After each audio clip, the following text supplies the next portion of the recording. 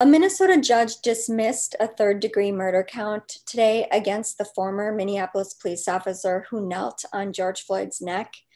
Uh, judge Peter Cahill said that this case just isn't appropriate for that charge to be filed, but the judge did say that there was enough probable cause for the other charges in the case to proceed ahead to trial.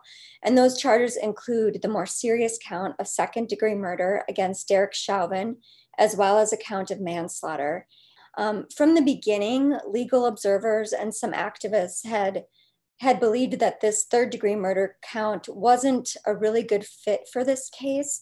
The count is more um, applicable to a case where someone might fire a gun into a crowded space. So, dropping this count doesn't really surprise many people.